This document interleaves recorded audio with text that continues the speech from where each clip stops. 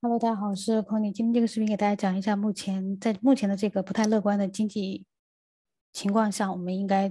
我们可以不叫应该，我们可以从哪几个角度或者从哪几个领域去，呃，去。去挖掘一些赚钱的一些机会哈，当然我指的都是金融领域的、投资领域的，啊，那在讲之前的话，还是声明一下哈，这个视频的话用途只是说作为教育或者娱乐之用哈，不作为任何的，不构成任何的投资建议。我也不是什么嗯投资专家，我只对于我来说，我自己的定位就是一个啊独立的投资人啊，只是一个独立投资人，所以我用我自己的判断，我用我自己的认知来啊。做出我自己的一个呃投资的 portfolio，就是呃资产配置，说白了就是资产配置。那么仅仅限于我自己的认知范围内。那我们都说人不可能赚他认知以外的钱，OK？所以我所有的在这个视频里面所有的内容只作为参考哈，嗯，作为教育跟 娱乐的用途哈。我们来谈回现在目前的一个情况哈，现在呃。美股啊，我们都知道，现在就是你看全球的一个形势的话，主要还是看美股跟美元的一个情况哈。嗯，现在比特币哈，比特币虽然说很多人还是抱有一定的期望，因为从技术分析上来说，它仍然是 high low 的一个结构啊，high low 的一个结构，也就是说，它虽然说它有跌，但是它的整体的趋势是往上走的，那没有到这个呃。这个结构确定下来，那很多人就说：“哎，我们还没有进入熊市。”嗯，所以这个熊市的概念呢，就是看你自己怎么去定义了。那我这样说的是，目前比特币它跟就是近几年的一个走势，它跟美股的这个走势是非常贴近的。也就是说，美股涨它也涨，美股跌它也跌。那么，呃，美股股票其实它是一种风险资产。那么，比特币、以太、比特币也好，比呃以太坊也好，这这个是两大主流币。嗯，很多人还是将它作为一个，呃，风险资产。所以说，一旦发生这个，呃，加息啊，或者说财政收紧的时候，那么，嗯，所有的这种风险资产的资金，它会撤出外流啊。嗯，美国加息是在，呃，上一次加息是二十五个基点，那么有有传言说。五月份的时候要加到，呃，要加五十个基点，什么意思呢？就是说还加百分之零点五。那本来是计划是这种二十五个基点，二十五个基点这样子去加，但是加了二十五个基点之后，那在三月份我们出来的美国的这个通胀数据仍然在往上走，达到了八点百分之八点五。那么在那是三月份的数据哈，二月份的数据是百分之七点九，一月份的数据是百分之七点五，所以我们可以看它一直在往上走的，所以。如果说它没有到一个顶峰的时候，那美国在这个加息方面，包括在缩表方面，它会加大力度啊，加大力度。但是其实，呃，按照就是目前的状况来说，并不是说它这个通胀啊，并不是仅仅是因为疫情引引起的。我们都知道，在疫情爆发二零二零年的时候，美国就是利率它几乎降为零了，然后它现在开始收紧，因为通胀实在是太高了。但是如果说你加息还没有办法解决这个通胀，如果这个通胀还一直往上走的话，那有可能形成恶意通胀的一个一个局面。那么恶意通胀的话，大家可以去自己去谷歌啊，或者说百度去搜索一下，就呃这个恶意通胀的一个呃定义。那么其实目前的这个通胀严重的还有一个最主要的原因，就是使供应链的这个呃整个供应链它的一个断裂，它中间。包括能源危机哈，供应链能源危机主要是这个俄乌战争，然后供应链供应供应链的这个断裂主要是二零二零年疫情一开始，所有的很多国家都 lock down 就是封控，然后很多的这个呃供就供应链从那个时候就开始受影响，再加上今年春节之后，那中国的 这个疫情哈零动态清零的一个制度，导致很多的工厂工厂也好没有。然后这个码头也好都没有办法及时的把货物生产出来或者运出去，所以这个非常就是怎么说呢？这就是供应链的这种断裂啊，就是你这个货物没有办法及时配送到哈，这个不管是什么样的货物，不管你是科技方面的这个这个呃芯片也好，或者说你是那种呃日用方面的哈，不管是什么，你供应链一旦受受到了影响哈，也就是说你到了。比如说到了美国啊，你东西借不就是我要买的东西，市场需求大于这个供应的时候，那它价格肯定是往上涨的。那这种情况，它就并不是说因为这个钱印钱印多了哈，再加上现在这个民众的消费力相对来说是比较低下的，所以这种呢就很容易形成恶意的这种通胀啊，恶意通胀的。后果就是完全失控啊，这个还是蛮严重的，所以经济衰退就接踵而来，这种多多米诺骨效应的这种，呃，就比较可怕哈。所以现在就整个的局势不太乐观。好，我们再说回刚刚说的哈，我你只要这个通胀的数据一直往上走，那么股市它就一直往下跌，这是一定的，因为人们很怕呀，因为你。这个加息是什么意思？加息的意思就是说，啊，我借钱，我需要给的利息贵了，我借钱的这个成本高了，所以很多的这很多人就要把这个资金从股市风险资产里面撤出来，啊，要还还给银行也好，或者说还给政府也好，啊，就是这个大概就是这个意思。也就是说，借钱的成本高了，我就不借钱了。那慢慢的，你你股市也好，你币也好，啊，你都会。资金就会流出来，然后回到美元啊，或者说回到这个债券哈，所以啊，目前是这样子的，就是这样子的一个逻辑。所以为什么美美股会跌？为什么越加息股票跌得越厉害？那么越通通胀越高，它这个加息就越快，或者加息加的越就是那个基点就会越大啊。所以为我刚刚就是说，为什么说这个恶意通胀？因为它这个。通胀的这个一直往上攀升，不仅仅是因为钱太多的原因，而是因为供应链的这个呃供应链断裂的问题以及能源危机的问题。所以啊，现在就是这么一个情况啊，不断的加息，那你股票不断的跌，股票不断的跌，那这个币也是一样的。虽然说币可能反弹会反弹比较快啊，反弹的可能哈会比较快，但是它。因为现在人们的心目中还是当它是风险资产，跟美股一样，股票一样，所以，呃，大家一定要留意这样子的一个风险。那么，嗯，我们来看一下，这个是呃标普五百的一个指数，标这个五天内的哈，我们刚才看到，今年今年到现在已经。呃，跌了百分之十二点九五，这个是标普五百。其实，呃，这个仅仅是因为百分之十二点九五，你看的是不算高，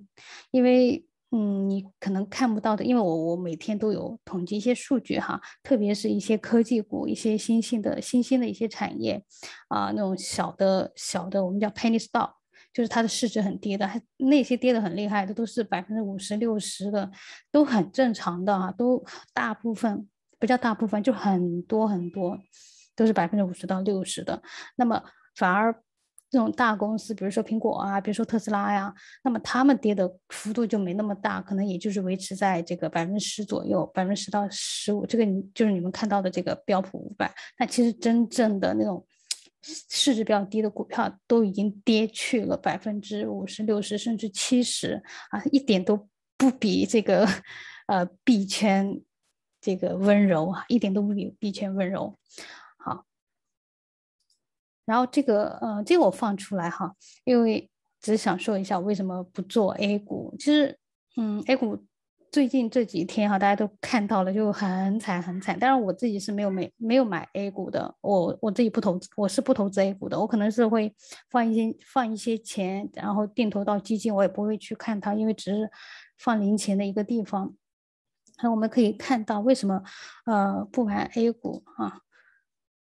我们可以看，我们看一个五年的吧，好吧？我们看五年的，比如说美美股哈，标普五百，我们看标普五百的一个指数，那么五年它的涨幅，就算是现在跌了，它的涨幅仍然有七十五点一二。好，我们来看一下上证指数，五年过去五年跌跌了百分之八点一五。啊，跌了百分之八点五。有很多人说，哎，中国发展中国家，我们来看印度的情况。印度，这是印度的五年，它也涨了百分之九十点二三。哈，基本上在美美国或者欧洲很多的国家，在五年四五年之间，哈，虽然说现在跌了，但是它四五年仍然是涨了百分之五十到百分之一百五，呃，百分之一百五这这个区间，哈。所以为什么不玩 A 股？其实数据你你可以看到，大家可以看到啊，可以看到的。然后这个是伦敦指数，过去五年，嗯，它也表现也不是特别的好哈。这个是德国的百分之十点六，因为现在都有跌啊，现在都有跌。然后这个是，哦，这个是推特哦，特别把推特拿出来，是因为，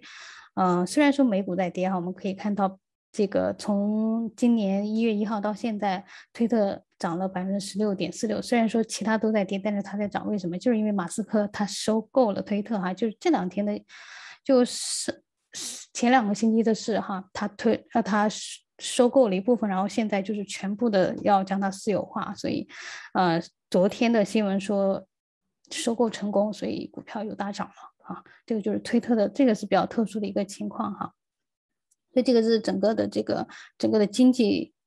就是因为你你看一个国家的一个经济情况，你主要。其中一个指标你是可以看它的这个呃指数啊，它的指数，比如说美国你就看 S S P N 五百，然后中国的话你就看上证指数哈，基本上就是这样子，你可以看到目前的一个情况是怎么样的。好，嗯，我刚刚一开始就已经说了，那接下来的话，可能如随着美国的加息，那风险资产，也就是说美股啊，包括币，它可能都会有再有一定程度的一个。震荡啊，什么时候通胀指数达到了一个高峰点，开始往下走了？什么时候啊，股市可能就那个时候就开始回暖了啊。OK，好，那么说了这么多，我们其实现在开始进入我们的主题，就是说在现在这种状情况呃状况下，那我们应该做什么？我们或者说我们可以考考虑哪几个领域？那我只是说我自己手上在做什么啊。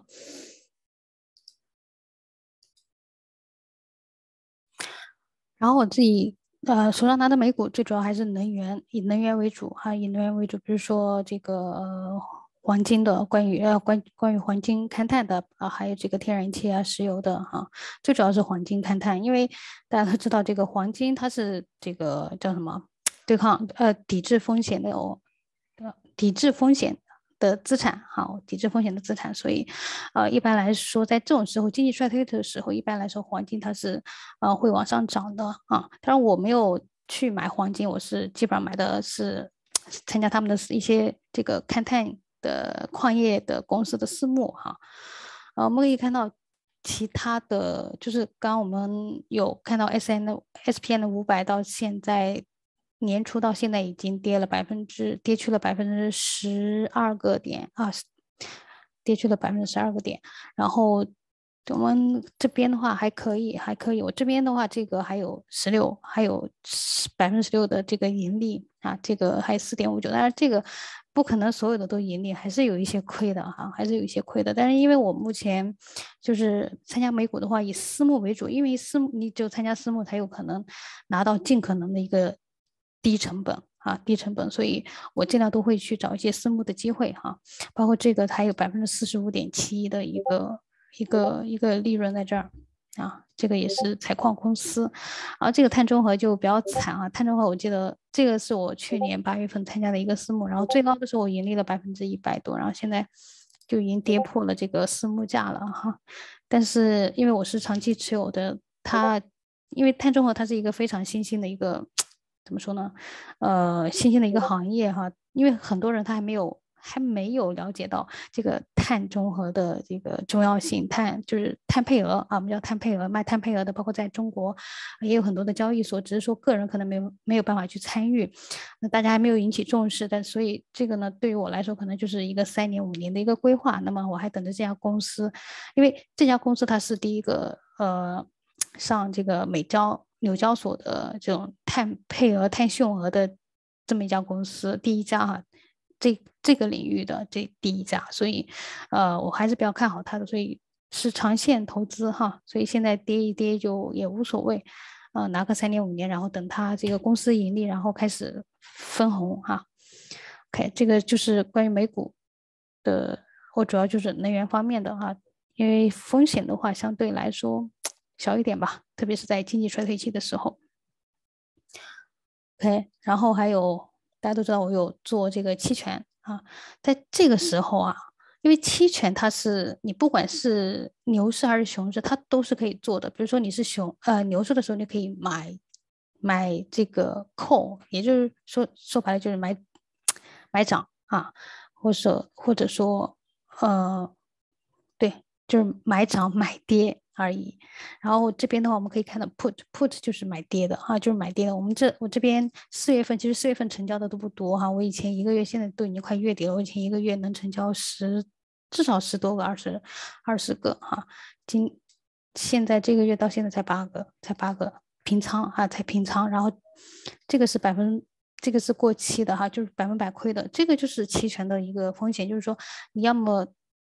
就如果亏的话，就一分钱都没了。就是比如说你五百美金去买的，然后有可能五百美金都没了，就是百分百亏掉哈，就是就是这个风险。但它赚的话，因为它是带杠杆的，所以赚的也比较多。所以在进入进入熊市或者经济衰退的时候，那我们可以考虑去买跌啊，买跌。这个就是，呃，在熊市的时候我们要以什么样的策略？那，呃，我之前，特别是在去年的时候买买涨买的比较多，就是 call 啊，买涨的话，它这边这个平仓就比较多。那现在因为它已经进入熊市了，它它是要跌的，所以我就买跌了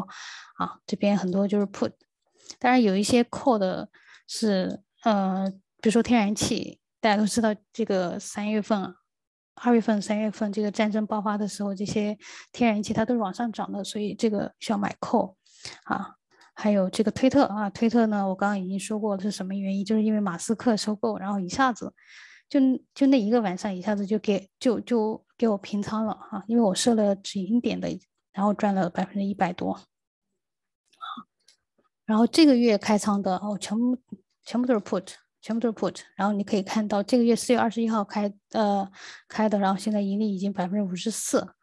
然后这边是四月二十号的，四月十九号，四月十九号这边推特一下子盈利了百分之四百多，啊百分之四百多，所以呃就是突然的那种利好，突然这也是推特，这比较特殊的一个情况哈。那基本上的话，现在目前的情况在熊市，你就要买 put，当然要前提还是要选好哈，一定要选好选对这个。呃，选对行业跟选对股票，OK，好，这个就是在熊市里面，我刚刚讲了，第一个买，尽量还是有私募的，有私募的机会就买私募哈，不管是在熊还是牛，有私募的时候尽量买私募。然后能源方面的，就是因为做长线价值投资啊，所以呃，不管熊还是牛，耐心等待就可以了。然后第二个就是在期权方面就买，呃，可能会更多的倾向于买 put 啊，买 put，就它跌的越。越厉害，你就赚的越多，就这个意思。OK。然后在 B 方面的话，呃，刚刚一开始就说了，现在结构还没有确定啊，没有确定，所以 我还是建议按兵不动吧，啊，还是按兵不动，等它再跌一跌，等这个五月份的议息会议，看它是不是加五十个点，五十个基点。那如果说是加五十个基点的话，可能还会跌一跌哈。然后它跌的越厉害，其实就是我们的机会。但是目前来说的话，啊，建议我自己哈是按兵不动的。然后特别是进入熊市或者经济衰退期的时候，那除了比特币、以太坊，其他的币可能都会受到比较重的打击，有些币就 一蹶不振了哈。嗯，就是每一次在熊市中，熊市中都会淘汰一批啊。所以，嗯，因为。到了熊市的话，就大家买比特币，它只是说作为一个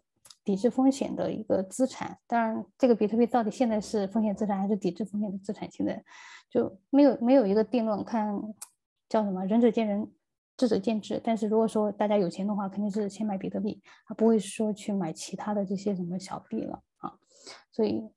嗯，在这种情况下的话，小币一般来说在熊市会跌的比较多啊，会跌的比较多。反而这个扛打的就是比特币、以太坊以及排名前十的啊，都可以考虑，都可以考虑啊。这个 Dogecoin 狗狗币是因为这个推特啊，也是因为马斯克的原因，否则的话它是排排不到前十的啊。反而是这个 AVX 啊，那如果是我的话，我会把这两个对调哈，然后这前十个都是可以考虑的啊，在熊市的时候，但是还是以比特币跟以太坊。为主，那对于我来说的话，可能就是以太坊的这个比重是最大的。OK，然后之前也说过，呃，那等一下再说。好，然后呃，在我们现在是谈到币哈，那在币的话，我们应该怎么做呢？那一般来说，我们就是换成稳定币，比如说 UST 啊，这个我之前其实也有讲过，之前一个一两个月之前的视频都有讲过怎么样去度过熊市哈。那这个时候的话，你需要手上拿现金啊。我说的现金就是稳定币，因为你要等机会嘛。那你你稳定币放在手上，它自己不会说去升，就是数量不会增加的。所以呃，我就基本上现在大部分人就是在这个领域的人，或者机构也好，就是投资独立投资人也好，那我们可能都会放在这个这里，因为它的 APY。基本上到现在哈，一年多两年，一年多都维持在百分之二十左右，不到百分之二十，百分之十九点五左右哈，这个还是相当高的。这个我之前其实就已经说过了哈，我之前就已经告诉过大家这个好东西、好平台。那其实我这个是在三月份的时候哦，对我在三月份的时候就告诉过大家，这个是，嗯。呃，这个是呃预计的一个预计的一个利润哈，这只是这利润哈，一年一年的这个是一年的 APY 是十九点一二，那我是这个是基于十万美金的一个数据哈，啊我一年啥事都不干啊啊什么事都不干，就这里的分在这里的资金十万十万美金，你一年就可以拿到一万呃将近两万美金的一个利息啊利息就是 啥事都不干啊，一年十多万人民币吧。两万对十多万人民币，啊，这个是我放一部分这个资金的一个地方，但我不会不会说把我自己的所有的这个都放在 Anchor 里面，因为本身这个东西也是有风险的哈，就是呃 UST 它虽然是算法稳定币，但是还是有一定风险的，所以风险的话，我可能今那在这个视频就不会具体的。讲哈，可能会出其他的视频讲。我只告诉大家，就虽然说它的这个 APY 百分之十九十九点多，但是啊，一定要根据自己的一个个人的承风险承担能力以及你的一个资产的配置的一个情况，然后来决定放在里面放多少哈。这个就是关于嗯这个 Anchor 稳定币哈，嗯也是其中一个方式，在熊市我照样可以赚钱，我是。就光是在这里啊，我一个月就有一万多，一一年十多万的人民币哈。我说我说的是人民币，然后嗯，比打工的强很多了嘛，对吧？这是这个真的是睡觉躺着赚的。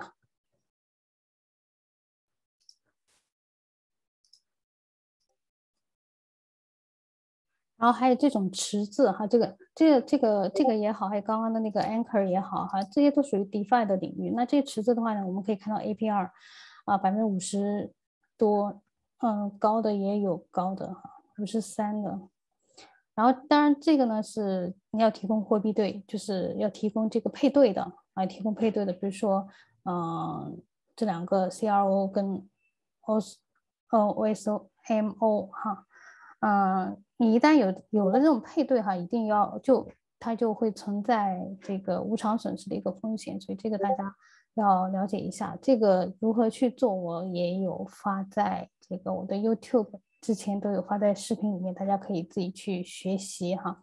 呃，什么叫无偿损失？怎么去计算啊？我在之前的视频都有讲过哈。这个也是在熊市里面我们可以嗯可以考虑的一个地方，嗯。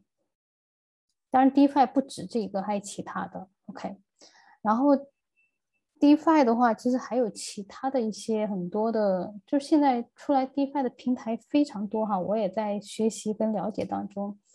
包括这个啊，这个也是，它这个 APR 也蛮高的。那这个呢，是跟传统的现在目前的呃传统的这个金融金融金融市场，它是要有一定关系的。比如说，我们可以看到这边的。嗯，比如说 Disney 哈，Disney，然后 Facebook 啊，这个也是也是这个可以去相当于啊，像我的话，可能一部分放在 Anchor，一部分放在这个呃 Osmos，还有一部分放在这里啊。这个的话，我大家如果有兴趣的话。我另外出视频再讲啊，百分之基本上在百分之二十多、三十多，啊，风险的话到时也会告诉大家是什么样的一个风险。任何东西都是有风险的哈，只是相对这风险相对高跟低而已，有没有这个呃风险保护机制哈？基本上就是，嗯，在币圈的话，呃，除了现在买币啊，我暂时按按兵不动，那么基本上就是放在这里啊，升息，那你稳定币留着，然后等有机会的时候进去哈。当然现金放在手上，嗯，就放在这里升息，然后还有一些这个 DeFi 的一些池子也是可以考虑的。但是如果说你是比较保守的，那就啊，像这种都可以考虑啊。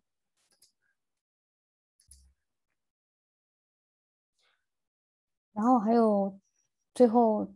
一种啊，就我目前做的 portfolio，最后一种就是外汇。那外汇这个我其实之前都已经讲过很多次了哈，啊，基本上外汇因为我自己不是做外汇，所以我是托管托管给公司去做哈。基本上啊，每个星期的话三千多美金，这个雷打不动的啊，雷打不动的，三千多、两千多、一千多。那因为这里一千多是因为呃复活节嘛，复活节这个外外汇。休假哈，外汇休假休市，我们叫休市。那外汇它其实是全球体量最大的一个市场哈，因为它没有绝对的一个熊市跟牛市，所以不管你是 经济衰退期也好，你是经济这个繁荣期也好，外汇这个领域它一定是体量最大的，而且它一天二十四小时，除了周六周日，一天二十二十四小时它是不间断的哈，不间断的，所以呃。如果你要问我在经济衰退期，或者说在熊市哪个在哪个领域是最好的，那我肯定说是在外汇啊，一定是外汇，这个毋庸置疑的啊。嗯，然后我这边的话就是托管给托管给公司，然后我这边就嗯每个月他帮我去做交易，每天啊每个星期两三千多美金啊，还可以了啊，还可以了，就。嗯，那有很多人会说，哎，你托管给别人别人的话，那你这个风险就会很大。没错，就是有风险。你做任何事情都是有风险的，就包括刚刚那个 UST 稳定币，它有没有风险？它当然有风险啊，因为跟 Luna，那如果说跟 Luna 的这个 peg 关系，它有脱离这个 peg 关系，那因为之前也有很多稳定币最后就不稳定了，所以风险都是有，只是说你从就是。你要你要分析它的风险是什么，那你能不能承担，对吧？你资金在手在自己手上，它并不一定是最安全的。比如说你资金在你自己手上，你去买了币，对吧？你去炒币，那么你会受到自己的情绪的控制，你会受到自己的就人性它是有弱点的，那你会贪婪，你会恐惧，然后你会做出错误的决定，所以资金在你手上可能更不安全。那包括 A 股也是，很多人我昨天。就是看一些网上的一些大家的一些留言啊，一些短视频，有些人从年初的一千多万到现在的三百多万，那就是资金在手上自己管理啊，对不对？你你你到了高点的时候，你又不舍得出，因为你很贪婪，然后到往下跌的时候，你还是不舍得出啊，你觉得它还会再涨，所以这个完全就是受情绪在管理、情绪控制的。那么 CFX 也就是我说的这个外汇，那它是就完全就是 EA 跟 AI 的一个呃一个。一个一个技术哈，你不不需要去，就是你人去做这个交易，其实风险是最大的啊。这个就是，嗯，它是靠 E 跟 AI 的技术去做交易哈。那这样子的话，嗯，风险相对来说会小一点。当然，说到我们的风险哈，我们的风，我自己的就是我作为成员或者我作为用户，我作为会员，那我的资金不在自己手上，这个就是最大的风险。所以你要去了解公司。你要去了解，啊，团队，你要去了解这家公司在做什么。其实我们判断项目也好，我们判断所有的就是赚钱的机会也好，我们所有其实它底层逻辑都是一样的。嗯，就好像天使投资人一样，我把钱投资到哪家公司，对吧？你是一定是首先是看这个人啊，跟项目本身的行业也要看。首先行业是正确的，然后要看人啊，这这家公司怎么样？因为它是一个新公司，对吗？你没有办法知道它后面到底运营的怎么样，所以你刚开始你在做判断、做选择的时候，你唯一能做的就是第一个，这个行业要正正确；第二个，这个人要正确，这就 OK 了啊。包括现在 NFT 也是一样，NFT 我就现在每天都出来成千上百个 NFT 的项目啊。但你知道哪个是蓝筹吗？我现在只做蓝筹，因为只有蓝筹才会源源不断的给你下蛋，给你，给你带来现金流啊。包括这个也是一样的，这个是源源不断给我带来现金流。所以我在做其他高风险的，比如说期权也好，这都属于高风险的。比如说币啊，比如说 NFT 都属于高风险。但在做这些高风险的时候，你必须手上有一个稳定的现金流管道哈。当你那些项目都输了，那些都没了，你有没有一个稳定的现金流管道而 CFX 就是我的现金流管道。当然它也有风险，但是对我来说，它的风险相对来说已经是最低的了哈。因为综合考虑啊，我。宁愿把我的钱给到一家我信任的公司，我信任的团队，让他们去做交易，然后我收益就可以了。然后我自己再去玩一些高风险的，比如说 NFT 啊，比如说币啊，比如说 DeFi，其实 DeFi 的风险也是蛮大的。OK，啊，这个呢就是呃呃外汇方面的啊，你只要把钱放进来，然后它有交易池，公司去帮你做交易。嗯，当然了，那个。我们在下半年，今年下半年应该是可以，呃，连接到自己的这个 MT4 账户，在外汇哈，我们都用 MT4，做过外汇的人都知道哈。那到时候资金也是可以自由进出的哈。所以这个，